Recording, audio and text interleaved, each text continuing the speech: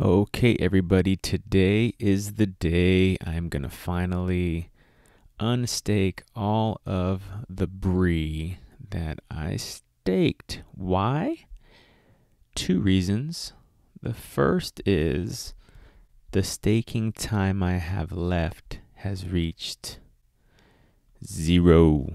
That is the time that I locked up all of my Bree is now over. But the more important reason is because I want to sell this on the market for like three, like three cents, um, so I can report a loss uh, in my tax statement this year. So, how do you do it? Well, first, um, you know, you go to the staking contract, which I will link, of course, in the description. Um, you got to make sure that you don't have any uh, time left. One other point here is you may also have some pending rewards right?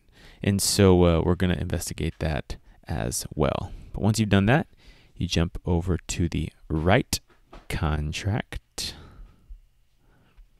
scroll down to claim rewards if you want to claim them.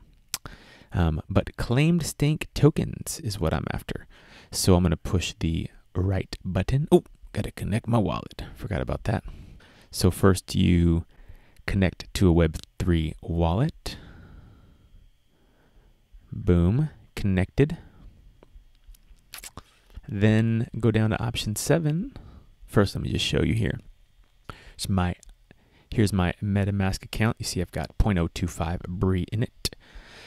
Come down here and claim staked tokens. Now it's going to ask me to pay uh, $2 in gas, which I will uh, do.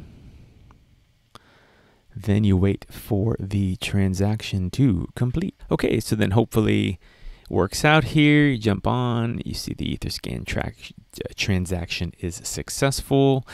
Go to your wallet, and hopefully you have, yeah, check it out, all my breeze back. Yay! Now, you know, I don't know if I really want to grab the rewards. It's going to cost me 0.01 Ether. So if you want to claim your pending rewards, uh, let's see how many I'm actually going to get here do the math. All right, so I've got 525. Um, I'm going to go ahead and write my claim rewards, which is going to cost me again 0.01 Ether. Do it. Let's see what happens here. There it goes. Look at that. Like magic. And in my wallet, I had 525. Now I have 536. So I had about 16 rewards. Now, if we head over to Uniswap and connect our wallet, we can check it the amount of Bree that we have, put it all out there, and decide to swap it into some other token like USDC. In this case, I'm estimated to get about $16, which was technically less than what I spent in Ether to get it. So I'm actually making a little bit of money here from what it cost me to spend. So I like that. Uh, you know, the real question is do you want to swap it into something else? Uh, you know, like uh, maybe stack some more mainframe tokens here. That might be more interesting. But really, I think the easiest is to just get back some ETH in my wallet. Get back the ETH that I spent because I'm going to end up spending it eventually to do some more swapping stuff. So you press swap, confirm the swap, gotta pay yet another transaction. Now, pro tip here if you actually want to spend less on this, save even more money. I should have done this in the beginning.